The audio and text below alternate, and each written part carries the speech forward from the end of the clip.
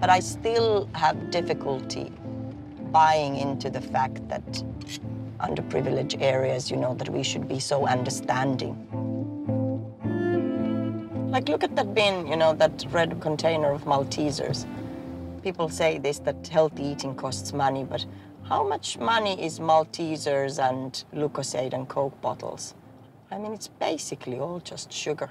And you really would think at this age in time, you know, we have had enough public health information that people know that all that type of food is not good for you. Um, I think I'm a little bit still looking at this with the lenses of blaming people. In one way, I'm actually also saying, like, you Irish people, you are, goodness me, it's always so nicey, nicey, but you can't say this and you can't say that. And, you know, you shouldn't blame the parents. And, but sorry, like, clearly, if a child is overweight, who gave the food to the child?